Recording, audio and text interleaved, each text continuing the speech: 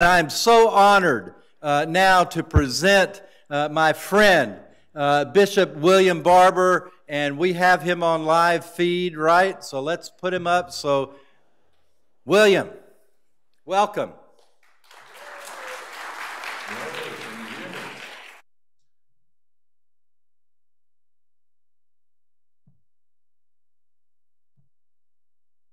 Do you hear me well?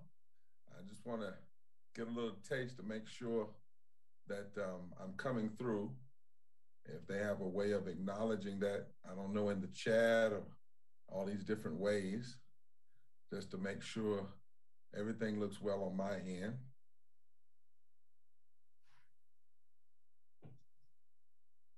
Give me your phone number. What does it say? Does the chat say you can hear me? Great, great, great, great. I see great. So that must mean you can hear me. Well, let me thank you so much, Rick, for uh, all that you and Sharon represented for your great work at the Historical Society. And I want to be the first, uh, maybe not the first, but one of them. I want to pledge a thousand dollars this year uh, to the fund that was just announced uh, in your honor. And uh, I just want to get that information. You send back what I need through my bishop and regional minister, uh, Valerie Melvin, my dear sister, and we'll get that in the mail uh, ASAP, ASAP uh, to you. Gracious and eternal God, thank you for your love, your mercy, and your kindness. Give us strength in this moment to say what you would have us to say and then to do what you would have us to do. We know whenever you call men and women to preach, teach, you take the risk of putting treasure in trash, treasure in earthen vessel, that the excellency of the power might be of thee and not of us. So hide us behind the cross, cover us in your blood, fill us with your spirit, and power us through your love. For we ask it in Jesus' name and believe it done. Amen. You know, Rick, um, I've been thinking about this thing. We must meet this moment in history. And I was reading Amos chapter 5, beginning around the uh, ninth verse, I think.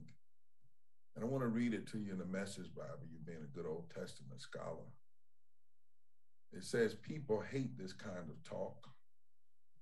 Raw truth is never popular. But here it is, bluntly spoken because you run roughshod over the poor and take bread right out of their mouths, you're not going to move into the luxury homes you have built. You're never going to drink wine from the expensive vineyards you've planted. I know precisely the extent of your violations and the enormity of your sins. And it is indeed appalling, to say the least, as a nation. You bully right living people. You take bribes both on the right and the left, and you kick the poor when they're down. Verse 13 justice to some seems like a lost cause, evil is epidemic. Decent people are throwing up their hands. Protest and rebuke seem to be useless on you and a waste of breath. Seek good and not evil and live. You talk about the God of the angel army as being your friend, well, live like it, and maybe that will happen. Hate evil and love good, then work it out in the public square. Maybe then the God of the God of the angel armies will notice your remnant and be gracious if you will work it out in the public square. Now again, God's of the angel army says, I need you to go out and meet in the streets and lament and cry loudly. I need a remnant to fill the malls and the shops with the cries of doom and weep and declare, not me, not us, not on our watch, not now.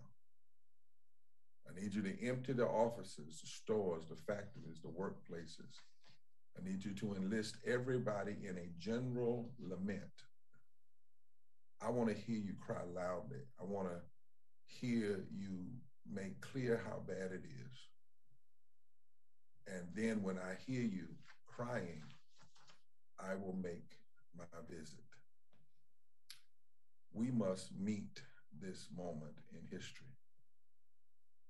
I want you to hold that scripture for a moment. I want to come back to it.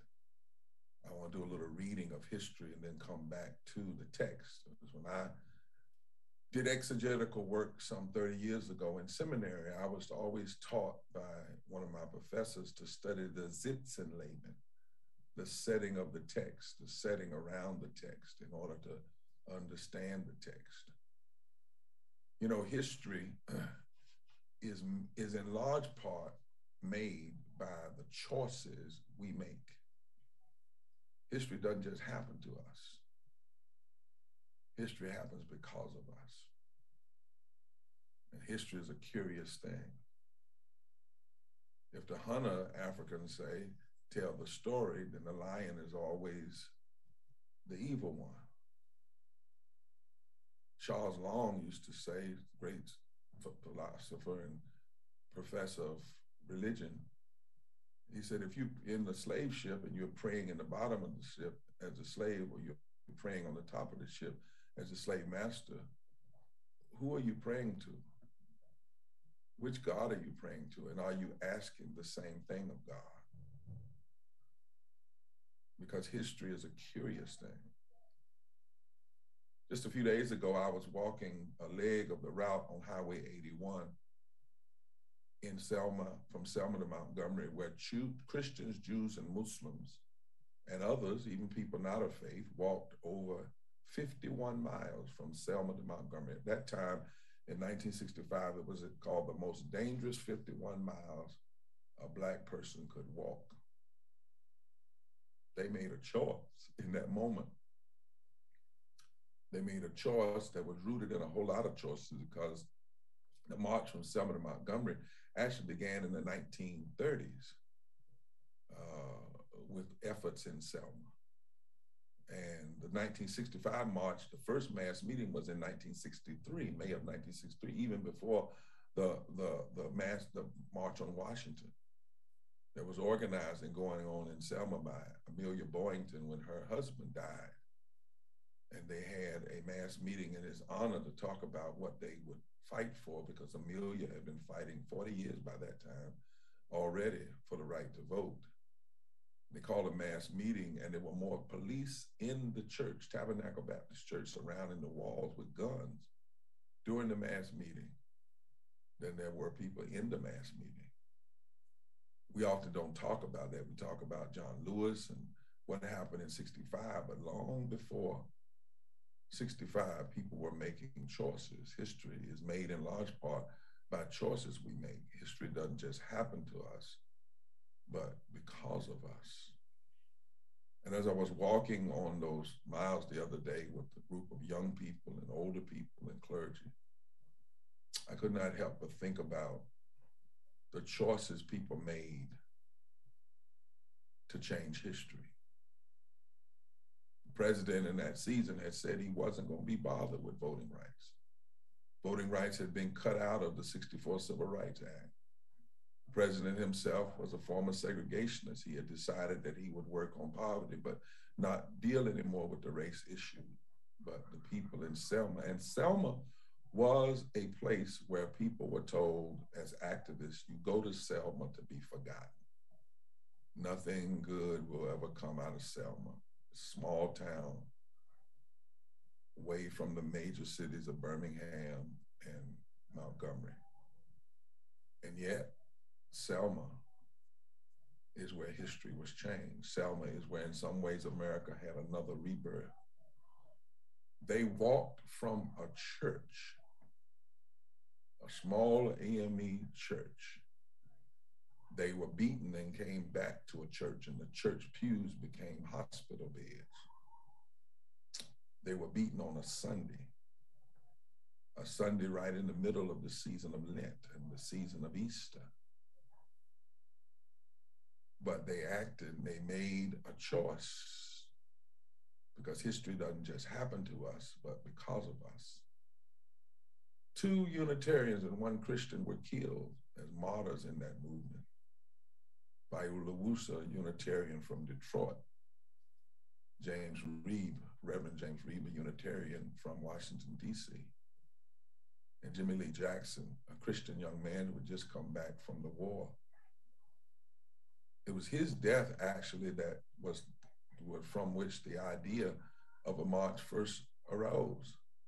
Because the original march was was going to be to take his body in his casket, walk it all the way to um, uh, Montgomery, and to declare that he was the result of racism and injustice. Almost all the people, or his death was the result, and things needed to change. Almost all of the people beaten on the bridge were Christian because they knew that history, in large part, is made by the choices we make. History doesn't just happen to us, but because of us. Now, sadly, the people that beat them, Jim Clark, the sheriff, the other deputies, they claim to be Christian too. They've been impacted by racism. And racism is a religion to some degree. And wherever it touches, wherever it touches, it distorts and destroys and diminishes. After they were beaten, Reverend Dr. Martin Luther King sent out an email to religious leaders, and they came. Rabbi Heschel, the Jewish rabbi, the bishop of the Orthodox Church in full regalia, came. Even some nuns broke with their bishop's order not to go to Selma. And there's this great picture showing the Unitarians, the nuns, the Christians, and others, the Jews, Jewish people, all walking together because they knew that history doesn't just happen to us, but because of us. They knew, as I was walking the other day and thinking, that they had to meet their moment in history. In this experiment we call America, the church has had a curious history in how she has met her moment.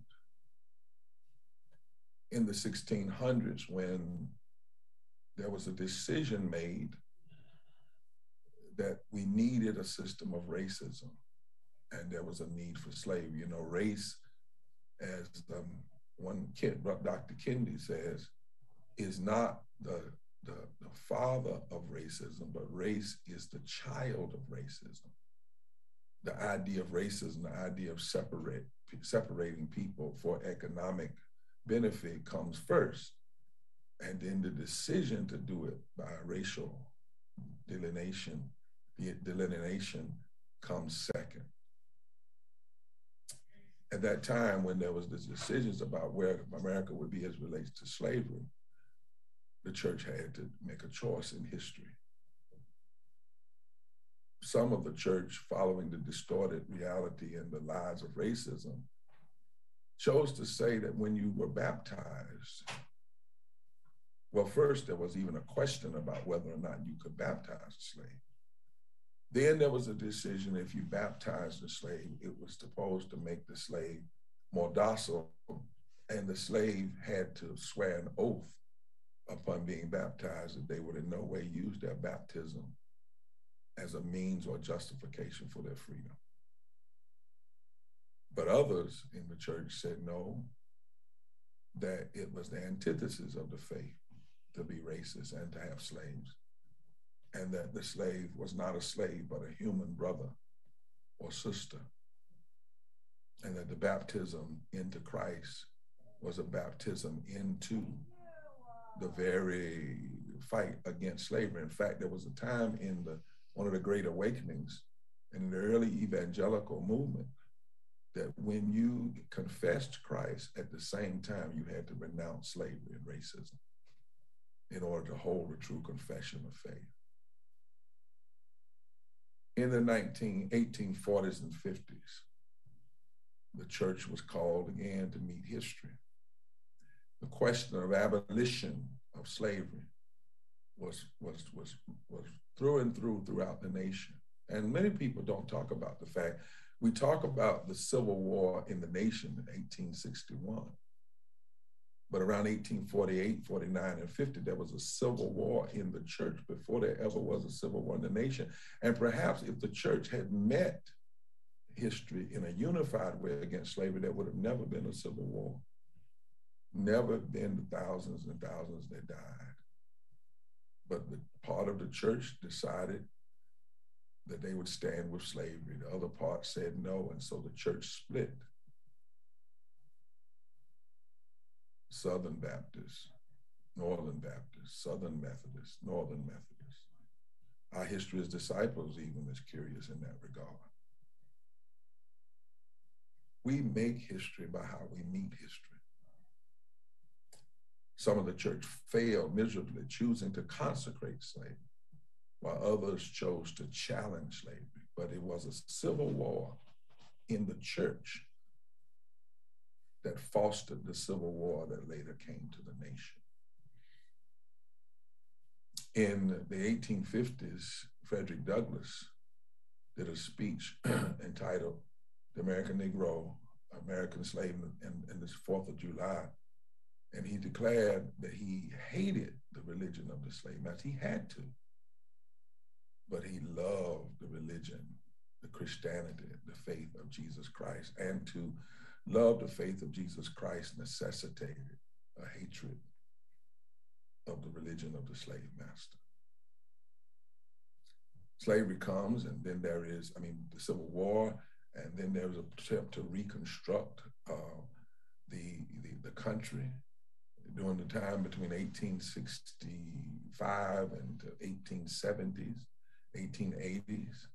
Some clergy people like for instance, Bishop J.W. Hood in North Carolina were on the side of rewriting Southern constitutions all over the country. They got greatly involved. Others were involved in how to stop the forward progress, how to take the, the, the, the country backwards. And some churches saw themselves as being the, the holding ground for what they call God's way, which was the way of racism. 1877, there's a election in the country. A man by the name of Rutherford B. Hayes gets selected president. He loses the popular vote. He wins the electoral college by making a deal that if he is selected, he would pull the troops out of the South. And when he pulled the troops out of the South, he would turn the South back over to the forces of racism and Jim Crow. He gets put in as president. He does exactly what he says. Some of the church goes along with it and rejoices in what he does. Other parts of the church meet history by challenging what he does. The church I pastor, the reason I talk about this history, was founded in 1886 1886. The church I pastor, Greenleaf Christian Church, First Greenleaf Church of Christ, is a congregation that is a result of how the church met history.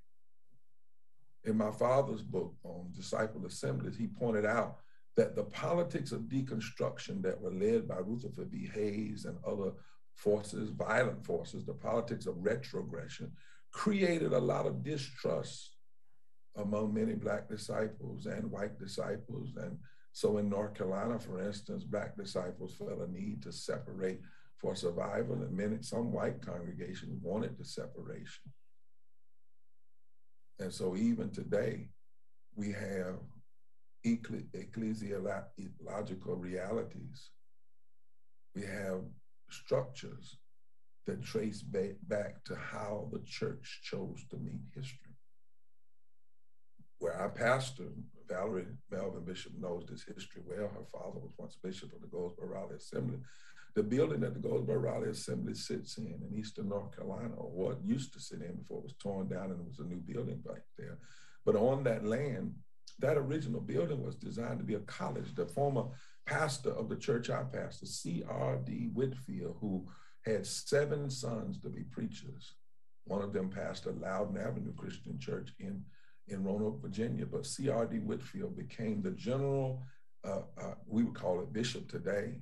Uh, he was the general elder back then, uh, uh, presiding elder, if you will. Uh, um, he, he, he helped to build that facility because Black brothers and sisters were not allowed entry into Barton College. And so the goal was that the Goldsboro Institute would be a college, a Christian college for African American ministers and students. We make history by how we choose to meet history. In the 1900s, the church had another choice. The industrialism and corporate greed and monopolism was flourishing in this country. Uh, there was all kind of battles in industrialism, but one of the battles was how to get the most out of people the cheapest. And in doing so, there were no child labor laws, there were no uh, workday laws, there were no uh, hourly wage laws. In many parts of the country, children walked around with two and three fingers cut off. Men's were men were forced to work in in facilities that had little, if any, ventilation, were dying young. And the social gospel movement had to make a decision to meet history. Do we be quiet or do we say something? And people like Walter Rauschenbusch and others decided to meet history by asking the question, what would Jesus do? And the social gospel movement decided to take on what was happening, the greed and industrialism and the problems. And out of that movement produced Frances Perkins, who became the first female labor secretary who served under President Roosevelt, who really was the architect in many ways of the New Deal. So because the church met history, uh, Frances Perkins was produced a theology of challenging the greed of society was in place. In fact, it was the, the teachings of Walter Rauschenbusch from the early 1900s as he taught from Hell's Kitchen in New York that actually greatly influenced the later thinking of Martin Luther King in terms of economics and what a Christian witness of economic justice ought look like. We, we, we, we make history by how we meet history. But then in the, in the 1930s and 40s, as I said, curious is a history. Uh, history is a, a, curious thing. You had some clergy like Harry Emerson Fosdick that were writing hymns in the church and singing songs like this in the church. The one I love is um, "Grant us courage for the facing of this hour," and it says, "Cure your children's warring madness." Bend our pride to your control, shame our wanton selfish gladness, rich in things and poor in soul, Grant us wisdom, grant us courage, lest we miss your kingdom's goal, lest we miss your kingdom's goal. This was the singing and preaching that was happening in church. The church was saying we cannot be on the sidelines when it comes to issues of injustice and greed and hatred. But in that same period of time, in the 1940s and 50s, there was another attempt to use the church to meet history in a different way. Kevin Kruse wrote a book called One Nation Under God, and you ought to read it. He's a Princeton scholar. And he talks about how the idea of a so called Christian nation was promoted in the 1930s and 40s when the industries, let me read this, when the industrialists and the business lobbies were chafing against the government regulations of the New Deal. They recruited, listen now, they recruited and funded conservative clergy to preach faith, freedom, and free enterprise. In his book, he did the research and footnoted and said there was a conflation of Christianity and capitalism, and it moved to the center stage in the 1950s under Eisenhower. He goes on to say, according to the conventional narrative, the Soviet Union discovered the bomb and the United States rediscovered God. Kruse says, however, in order to push back uh, uh, they, they, say in order to push back against the atheistic communism of the Soviet Union, that is the history we're taught, that Americans re-embraced the religious identity. He said that played a small role, but actually it's a longer arc. That the Cold War consensus actually helped to paper over a couple, a couple decades of internal political struggles in the United States. And if you look at the architects of this language, the state power that they worried about is not the Soviet Union's power, but the power of the New Deal and the power of the Fair Deal and the power of the government, reining in the greed of industry. He says in his book, the New Deal had passed a large number of measures that were regulating business in some way for the first time, and it had empowered labor unions and gave them a voice in the affairs of business, and it rooted itself in a moral framework, really much because of the way Frances Perkins approached these issues. And corporate leaders resented both of these moves, so they launched a a massive listen campaign of public relations designed to sell the values of enterprise. The problem was the country wasn't listening to them because of the depression and because the corporate corporate leaders had run the country into the depression. And so largely what the corporations were saying and how they were crying that they were being hurt was dismissed. And so they did a study. And they did a study to find out who had the moral ear of the country. And the study came back and said the pulpit. And Kruse said, and then these corporate leaders decided, how can we buy the pulpit? How can we own the pulpit? This is what they cho- how they chose to meet this moment in history. How can we control the pulpit? How can we how can we have the pulpit? How can we make Christianity and capitalism soulmate? How can we use the pulpit to tear down the New Deal? so they came up with a strange form of Calvinism, misguided Calvinism. If you're good, you go to heaven. If you're bad, you go to hell. If you are a capitalist and you work hard, you make a profit. If you don't, it's because you're lazy. And the New Deal, they argued, violated the natural order that God has set in place. They argued the New Deal violated the Ten Commandments.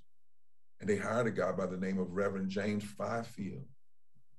He passed the first Congregationalist church in Los Angeles. It was an elite church he ministered to millionaires and he decided that he was going to debone the gospel, debone the Bible.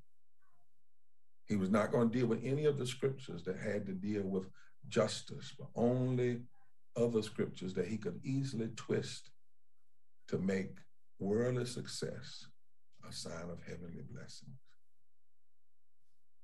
The corporations came together, says Kruse, and decided to fund him heavily fund him. He called it spiritual mobilization. Sun Oil president J. Howard Pew put in millions of dollars for this. Listen, Alfred Sloan of General Motors put in millions of dollars for this. The US Chamber of Commerce put in millions of dollars for this. If you understand this history, you understand why right now the US Chamber of Commerce is fighting against voter, voting rights and living wages. The National Association of Manufacturers put in millions of dollars. They gave Fifield millions of dollars. They chose to meet history by up destroying the gospel witness rather than upholding it. And within 10 years, he had 17,000 pulpits purchased, 17,000 so called minister representatives who belonged to the organization of spiritual mobilization, preaching sermons. In fact, they were so competitive that they actually competed for cash prizes for the best sermons, the sermons that could best denounce the New Deal, denounce social justice, denounce programs that lift the poor, and preach simply what the ultra capitalists wanted to be preached. And the sermons that won were the ones that called the New Deal and anything like it that, that regulated greed, evil. And the sermons that won, they were repreached over and over and over again. They chose to meet history that way. And today we see so much of the wrong that is coming out, of came out of that 1950s and 60s in the midst of Jim Crow. Some persons that claim to be church chose to again endorse Jim Crow, uphold Jim Crow, embrace the violence, embrace governors saying segregation yesterday, today, and tomorrow. And some chose the way of justice, calling racism sin. The civil rights movement. It's no wonder that in even in the 1940s, Richard Niebuhr and Howard Thurman came together and formed uh, an institute of religion that actually had as its goal to teach the, the, the militant love of Jesus Christ as a exegetical framework for unpacking Jim Crow.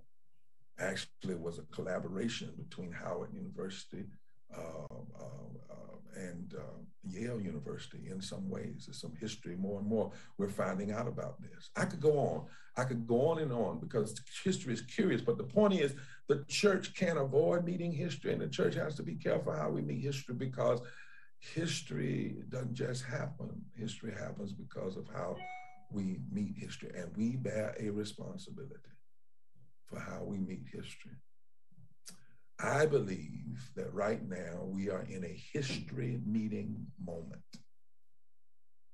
We are in a history meeting moment. And what we do right now is going to have an impact for the next 50 years or more. In fact, it may be the future of this democracy and even the world hinges on the decision that the church makes right now in the midst of history. Why do I say that? the reality of poverty in this moment, in the midst of so much wealth, along with the five interlocking injustices of racism, ecological devastation, denial of health care, the war economy, and the false moral narrative of religious nationalism, threaten the future of the democracy, not the future of the Republican Party, the future of Democrat Party, but the literal future of the democracy and how we in the church meet this moment of history is of utmost importance. Recently, I was teaching again at the Vatican and the invitation of the Pope to be a member of the Pontifical Academy. And the Pope said, Today we see that the world has never been so rich.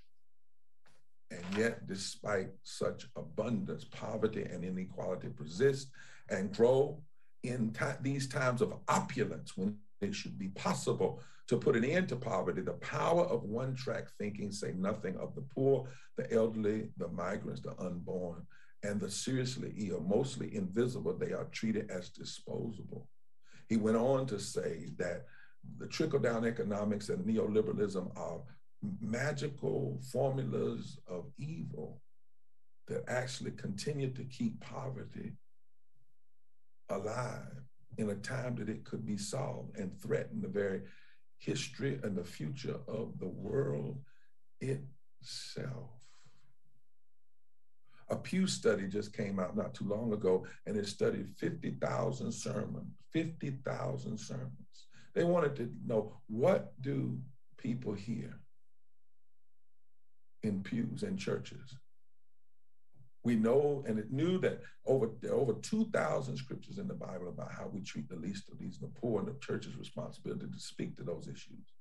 Jesus started his first sermon, The Spirit of the Lord is upon me, to preach good news to the poor. That word that poor translated is in, from Greek is, is those who are made poor by systems of economic exploitation. At the end of him, he said that, that we, the nations, nations, governments would be judged by how we treat the poor. So this study was done knowing that the only other sin listed more than how we treat the treatment of the poor and, and, the least of these is that of idolatry and self-worship. Over 2,000 scriptures according to the Poverty and Justice Bible. And yet, the word poverty did not even register among what is preached among those 50,000. Understand, they did a percentage point. So how often did hallelujah register? How often was grace said? How often was communion said? And the poor did not even, read, not 1% of the time in American pulpits. Even though we're in a time where the Oxfam group just released a report um, just ahead of the World Economic Forum, and the report is titled Inequality Kills, and they say at least 21,000 people die each day from poverty and inequality every four seconds. every four seconds. Meanwhile, a new billionaire is created every 26 hours. That report just came out. And right here in America, right here in America, we know that 250,000 people die every every year from poverty. This this is this is before we ever had to deal with COVID death, and we're almost at a million now. This is before we ever had to deal with COVID deaths. 700 people a day, almost three people every hour die from poverty.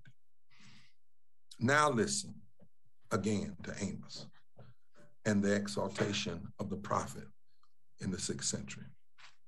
He says, God says, I need a remnant that will go out and meet in the street and lament loudly, fill the malls and the shops with the cries of doom, weep loudly, empty the offices, the factories, the workplaces, get everybody involved in the lament. I want to hear it loud, and then I'll come see about you. Early on, what did he say? Amos said in this fifth chapter justice is a lost cause, some are saying. Evil is epidemic. Decent people are throwing up their hands. Too many people are being bullied. We're taking bribes on the right and the left. The only way to fix it, says Amos, says God to Amos, is for God's people to meet, to meet in the street, to meet history. Now, we often take from Amos chapter 5 that 21st to the 24th verses where it says, I can't stand your religious meetings. I'm fed up with your conferences and conventions. What I want is for justice to roll down like waters and righteousness like a mighty stream. God was actually saying the wrong way to meet history in a moment of grave injustice is to just stay inside of our quarantine conventions, our quarantine sacred meetings, and say nothing of what's going on. But the right way to meet history in a moment of gross injustice and grotesque greed and pornographic sums of money being being swept up to the those who don't need it is to meet in the street. That's what God said, six said in the sixth century BC. And that tells me from the scripture that as the church, we are called to shift the moral narrative. We must, that's how, that's how we must meet history. We're called to put a face on the pain of our people and to, and to put a face on injustice and to call the nation to repentance, to, if you will, break the nation's heart, that give it the possibility to, to change, to break up the fallow ground, to break up the stony heart. We've got, and we've got serious moral work to do in this moment. I took you through those other places of history because the church, as I said, had a curious way. Sometimes the church has made the right, right, right decision. Sometimes it hasn't. But in this moment, we've got to decide how we're going to meet it. We can't ignore it. When the Congress can unanimously condemn what Putin is doing in Ukraine and should, but then remain so divided over addressing the issues right here in our own country, we've got to decide how we're going to meet this moment. We must challenge the lies of scarcity and the notion that this is the best we can do. If America, for instance, is going to claim to be one nation under God, indivisible, with liberty and justice for all, then we cannot ignore the data. If we're going to be true to that our calling is to establish justice and to promote the general welfare, yes, general welfare of all people, then we've got to deal with the church has to find its voice, not the voice of politics, but the voice of the church, the moral voice. Where's and our, our space in demanding that the nation must guarantee living wages and adequate income and health care and affordable housing and quality in public education and expanding and protecting voting rights and fair taxation and debt relief and just immigration and climate justice. Amos, God said, Amos, I need a remnant that will meet history by, by meeting in the street and calling the nation to a lament a deep crying over her injustices. The church can't meet this moment. Disciples can't meet this moment, especially those of us who claim to be people of the table, and we welcome all to the table. That table theology must have deep, but also must guide us in our social justice critique. We must bring people together to lament. We're called to be a prophetic challenge. Uh, all of our faith traditions, almost all of them, require us to confront injustice through sustained moral action, not just through a litany, not just through a moment of prayer, but we got to work it out in the public square, as God told Amos.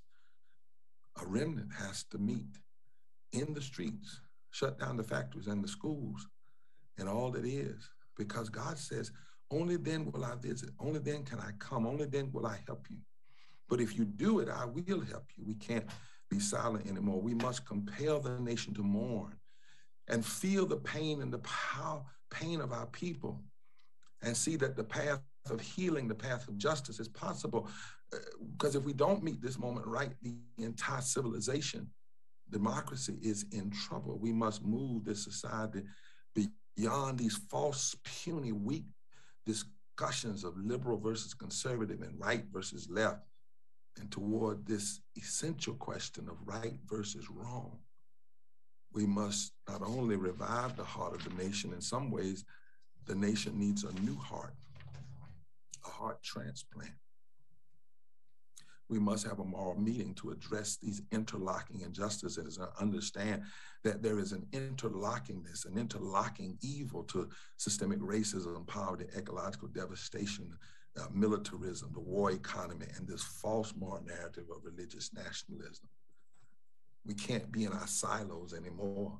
We can't even talk about racism as a silo issue. It's not just racism toward Black people. For instance, voter suppression today is not just something hurting Black people, it's hurting all people. If the laws that get put in place now that people are proposing, 50,000 Americans will lose access to the polls, not 50,000 Black people, excuse me, 50 million Americans will lose access to the polls they had in 2020. They won't have them in 2022.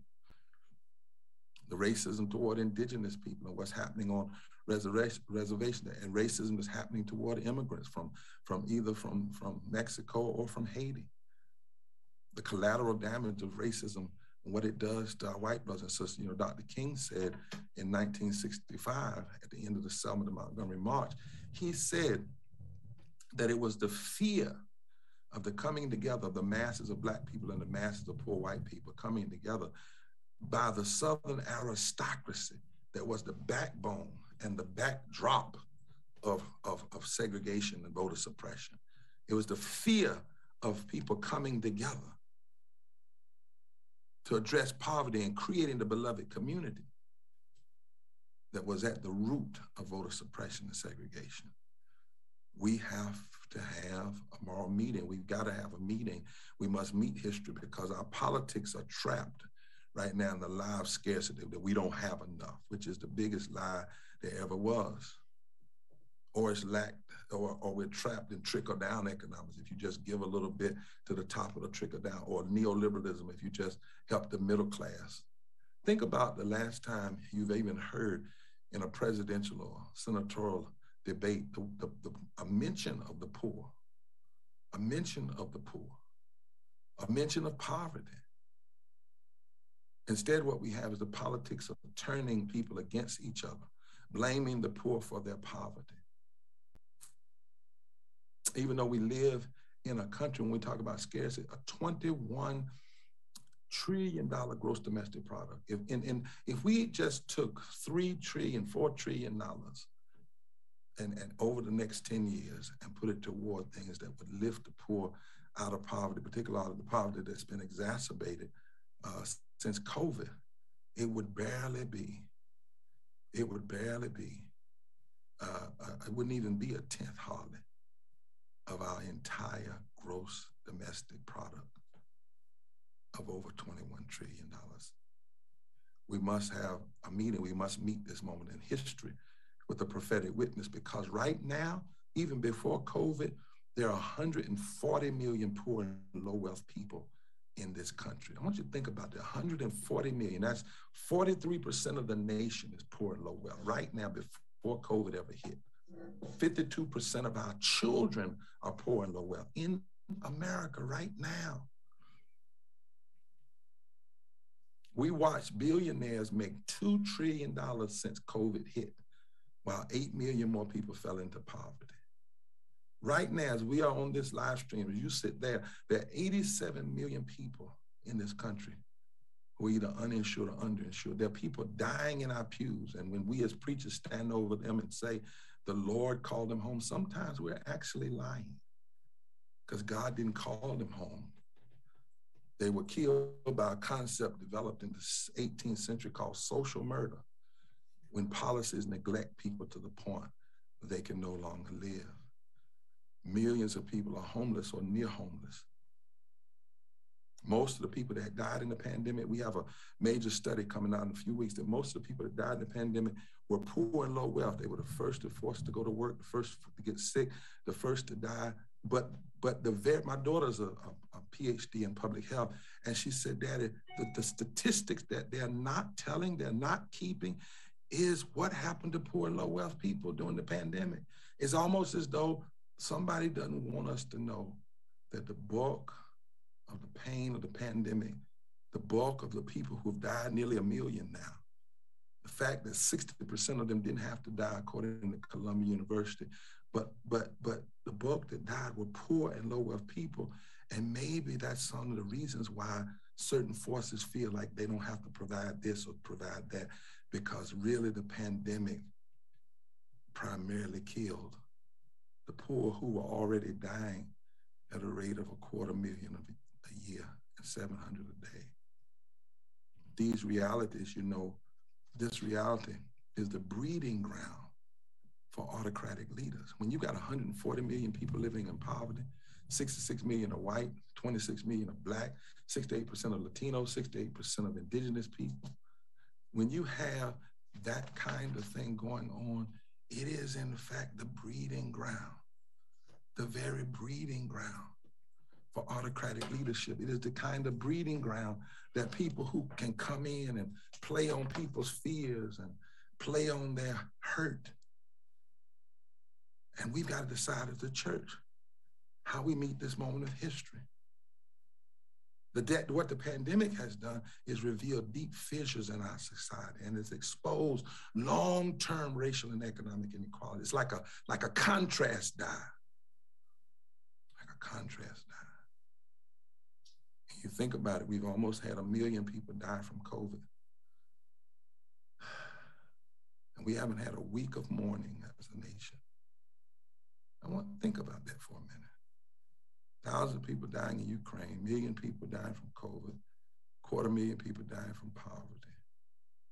And we've not just stopped. People are more worried about getting back to normal than mourning. We must have a meeting because we're living in historic times and time when we have less voting rights today than we had in 1965 and an all-out assault on voting rights. We must have a meeting, a moral meeting, and meet this moment because we spent $21 trillion in war since the Iraq War. Right now, we spend 54 cents of every discretionary dollar in the war economy before what broke out in Ukraine and less than 16 cents of every discretionary dollar on health care and living wages and education. The things that actually build a society. And Dr. King said, whenever your military budget drives every decision of a society, that decision is on a spiral. That, that nation is on a spiral toward death. None of this has to be. I was recently, as I closed in the UN, and I was talking to the special rapporteur for poverty, and he came up to me and said, Bishop, he said, I'm not a religious person. I don't necessarily believe in God. He said, but I know some things, and I want to share them with you.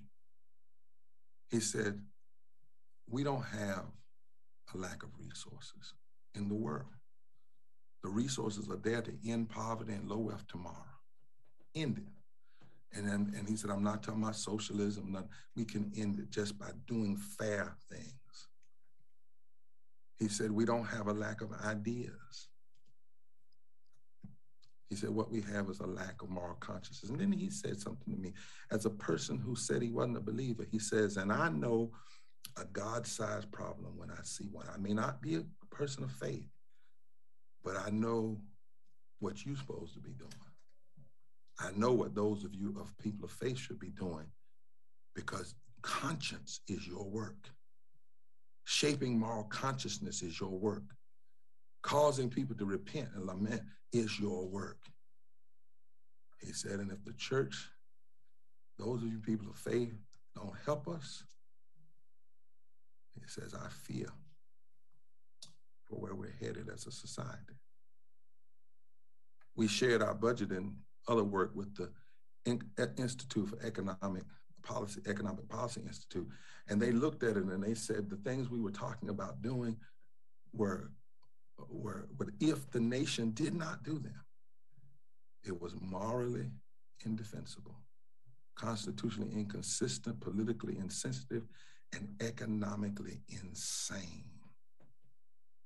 Right now, we lose, for instance, a trillion dollars a year from just allowing child poverty to exist. And we know that that's just 2% of our national budget going toward programs that work could eradicate 70% of poverty. Amos said through, God said through Amos years ago, that in history, God's people must meet history. It's not always Uh, the majority. If God said, if I can just get a remnant, if I can just get a remnant to have the right kind of meeting in the public square, cause the right kind of tears, the right kind of lament, then we can change the nation. We can cause justice to roll down like waters, righteousness like a mighty stream. And I, for one, want to take God at God's word.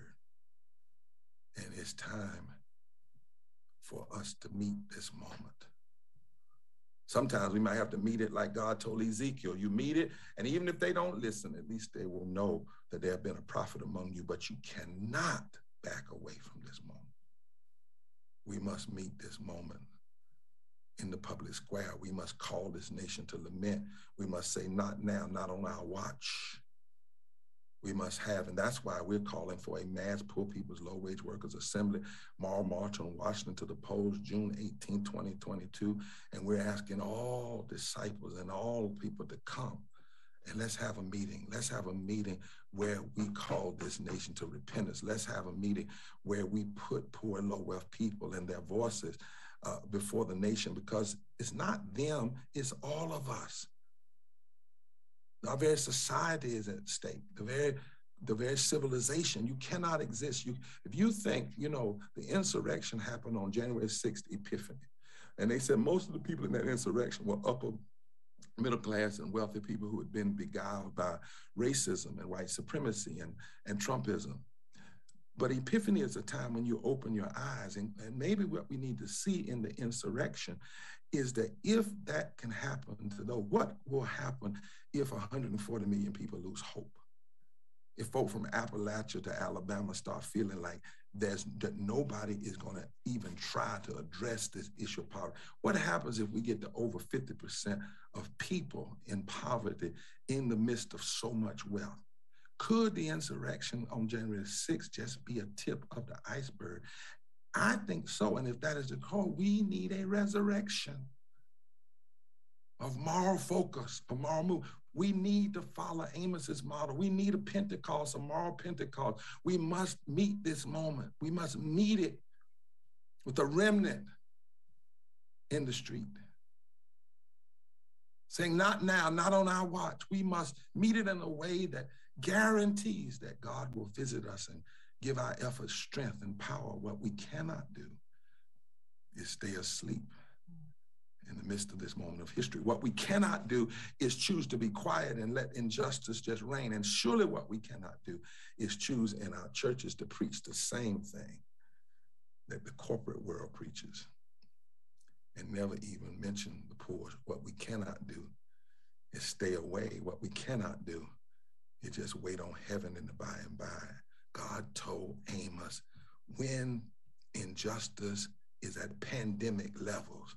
I need a remnant that will work it out in the public. I need a remnant that will meet history head on, face it, look at it, expose it, offer it a way out, lament about it, offer new possibilities. And hadn't God always used meetings? In the beginning book of creation, the Bible doesn't say the Lord said, let me, it said, let us make man. When God decided to make human, he called a meeting. In the book of Ezekiel, God called a meeting, the valley of dry bones. He looked for a person that could stand in the gap. Ezekiel 22 could not find anybody, but in Ezekiel 37, God said, I know where the hope of Israel lies. It's in the valley of dry bones. I need you as a prophet to go there and speak and let the word get in them, and then my spirit get on them, and I'll strengthen them, and they will become hope. God had a meeting in the fiery furnace with Shadrach, Meshach, and Abednego, and it changed the heart of a king when they came out, and they didn't even have the smell of smoke on them. And the king looked in and said, I thought we put three in there, but what's this fourth one in the meeting? David had a meeting in the valley. He, he met with five rocks, not one, for battle against Goliath. Pentecost was a meeting. And one of the first things that happened after the meeting on Pentecost is they set up a way of living that no one would have any need. There was a meeting even in Calvary, on Calvary, because it says when Jesus gave up the ghost that the, the prophets of old got up out of the graves. Almost kind of like a dual resurrection. One of the prophets getting up that day and then Jesus getting up later. There's a meeting. That meeting, God has always used these moral meetings people coming together. Abolitionists was a meeting. Women's suffrage movement, Seneca Falls, meeting. Civil rights movement, Jewish Muslim law, Jewish Christian lawyers coming together, black and white, having these meetings. Selma was a meeting. Montgomery was a meeting. Birmingham was a meeting. Greensboro uh, uh, lunch counters a meeting. Marl, the watch on Washington was a meeting. God always has a remnant that will come together and meet history meet history, not just let it happen, but meet it. And whenever God has fundamentally changed the course of history and changed the heart of the nation, he's always used a meeting. Just like God said to Amos, I need a remnant. I need a remnant who will go in the streets, meet in the streets, cry loudly, act as though something is wrong, weep, wail, put a face on the pain, Show the nation what's wrong. And when you do that, I'll visit you. I'll help you. I will meet you and give you strength to change history. I hope you'll join at the meeting on June 18th. We've got more power than we realize, but we can't stay inside. God says, I, I don't need in this moment more of your internal conventions. I need a meeting. I need a meeting in the street. I need a remnant to know God is not finished with this nation or this world yet.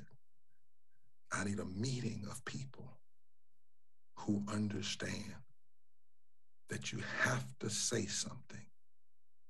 If you're going to be a Christian witness, you have to meet history. You cannot just let it happen. Let's have a meeting and change the course of this world for the betterment. God bless you. Thank you so much for this time.